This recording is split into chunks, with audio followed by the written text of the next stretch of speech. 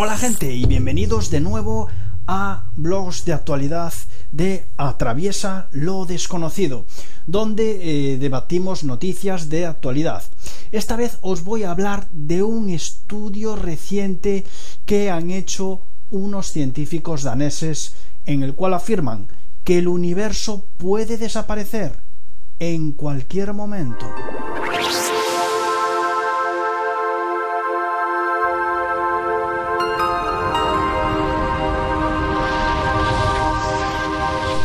Como os decía, según los investigadores, el universo puede colapsar en cualquier momento. Es más, podría estar empezando a colapsarse en cualquier punto de todo el cosmos y sin que nos demos cuenta aún. Esta teoría que han desarrollado físicos de Dinamarca predice que el universo se está comprimiendo y que pronto podría terminar sus días como una bola caliente muy pesada. Supongo que lo más parecido a un gran agujero negro y con un final parecido al conocido Big Crunch, correspondiente al universo cerrado. Todo esto lo comentaré en breve. Y bueno, de acuerdo a las ecuaciones que se plantean, se puede demostrar el alto grado de probabilidad que existe en torno a un colapso general del universo, lo que se desprende de la teoría que sostiene que en algún momento el cambio radical en las fuerzas del cosmos hará que cada partícula que lo compone se torne extremadamente pesada. Esto significa que cualquier material, cualquier grano de arena, cualquier pelo, los átomos, todo multiplicaría eh, su peso más o menos miles de millones de veces. Sería algo inaudito, ¿no? Y bueno, referencias a estos nuevos cálculos hacen mucho más probable que el fin del universo exista en cualquier momento. Y bueno, para comprender esta teoría de los científicos daneses, que yo no la apoyo demasiado, no apoyo demasiado estos estudios, porque, eh, como comprenderéis, los posibles finales del universo es algo que ya está estudiado y no por ello el universo va a colapsar inmediatamente. Ojo, esto no quiere decir que en un futuro lo vaya a hacer, pero os comento que esto ya está más que estudiado, incluso yo lo he tratado en mi libro y bueno, y muchos científicos ya desde hace años que se sabe que se ha estudiado y bueno, simplemente hay varios finales ya escritos como posibles candidatos a fin del universo.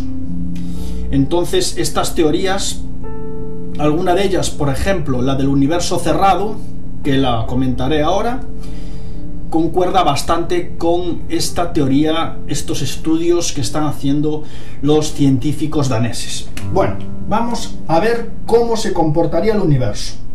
Las teorías del final del universo se basan principalmente en un parámetro. Ese parámetro es el parámetro omega, que es el parámetro de la densidad, que divide la densidad de materia media medida en el universo entre la densidad crítica.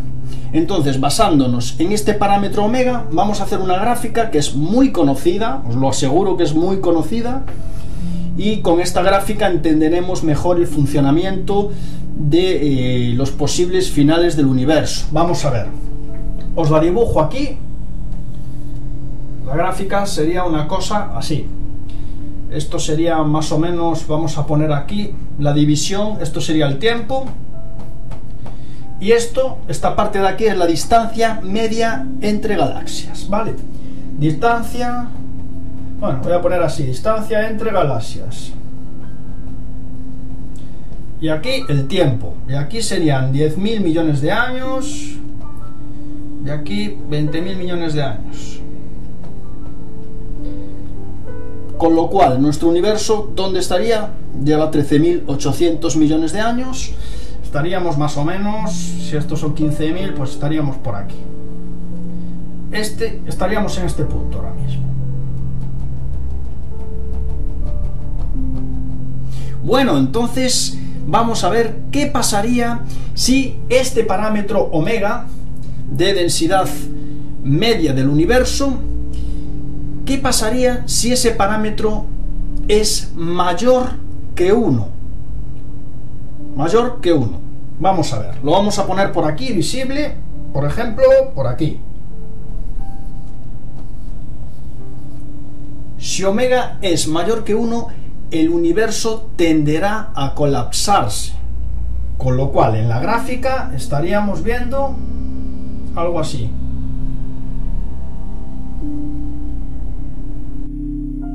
La teoría de los científicos daneses estriba que estemos en un punto.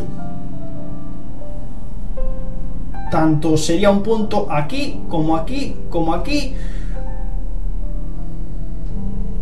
O quizás no tenga que ver con este tipo de muerte del universo y quizás sea algo más drástico lo que quieren estudiar. Pero bueno. Esto sería lo que es un universo cerrado. Tiende a colapsarse más o menos dentro de, un, un tiempo. ¿Qué pasa si el parámetro es igual a 1? Bueno, pues si el parámetro es igual a 1 tendríamos un universo como se suele llamar plano. Que seguiría una línea que acabaría en planitud. Estaría en constante expansión hasta la planitud, hasta establecerse ahí, en la planitud.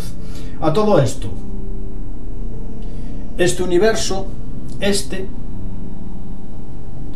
hay muchas teorías que em, afirman de que, bueno, podría volver a expandirse. Hay otras que dicen que no, que eh, se pararía ahí y se acabó. Pero eh, generalmente hoy en día, eh, desde que se ha descubierto la, energía oscura, perdón, que pues es un, un parámetro que expande todo el cosmos con una fuerza impresionante, contraria a la gravedad, pues desde que se ha descubierto la energía oscura, este modelo de universo ya no es muy creíble. Y bueno, seguimos. Entonces, ¿Qué pasa si omega, vamos a ponerlo aquí, es menor que 1? ¿Qué pasa si omega es menor que 1? Pues tendríamos algo así.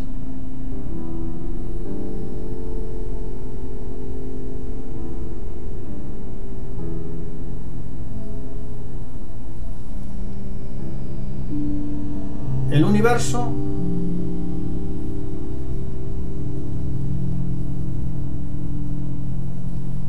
el universo al final tendería a expandirse. Y bueno, resumiendo ya este tema y para hacerlo un poquito más sencillo, los tipos de universo se basan en, en tres sería el universo cerrado, el universo plano y el universo hiperbólico.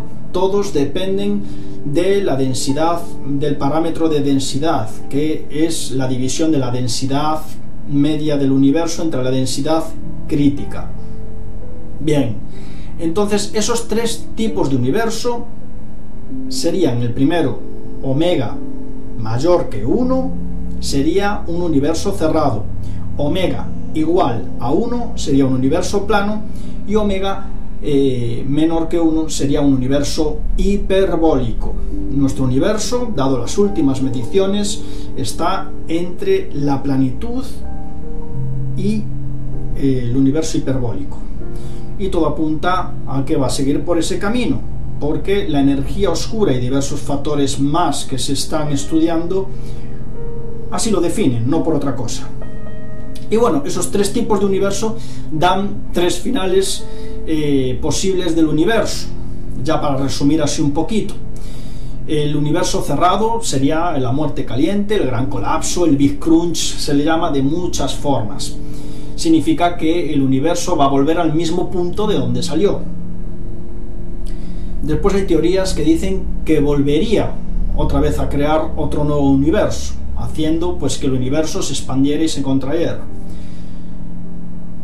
Pero bueno, estas teorías, ya os digo, con el descubrimiento de la energía oscura, pues se han venido un poco abajo. La verdad, se han venido un poco abajo.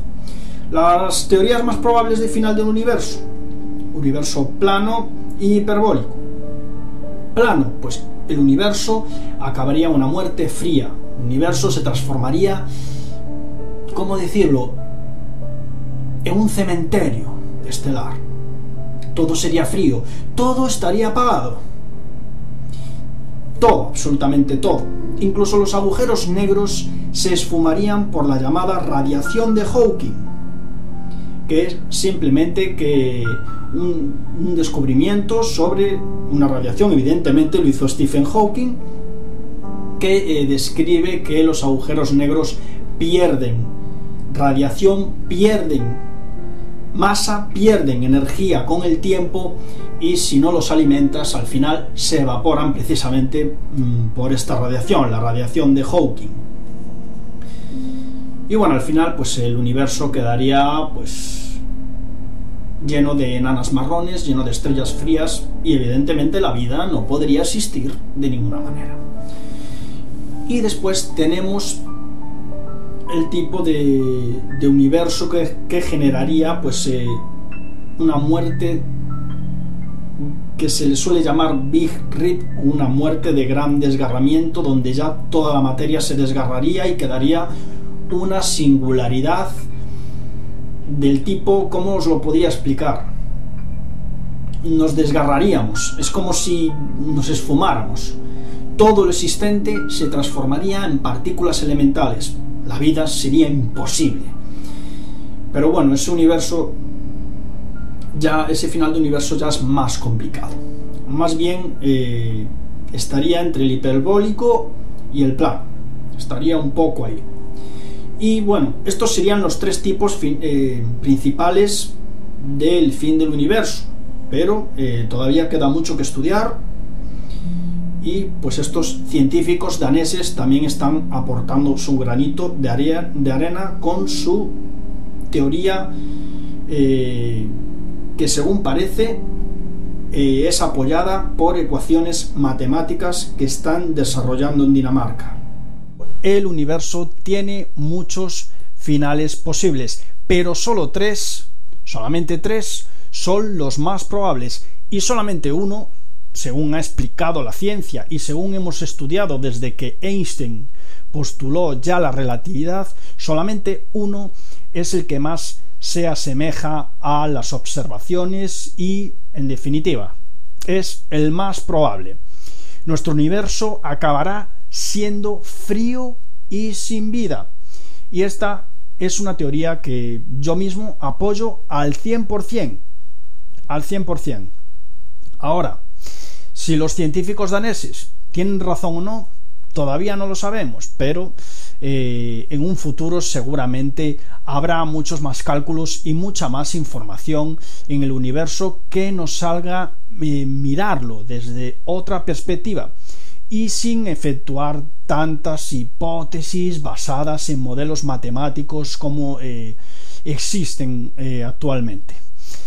Y bueno, sin más que decir, muchas gracias por ver otro vídeo de blogs de actualidad de Atraviesa lo desconocido. Espero veros pronto.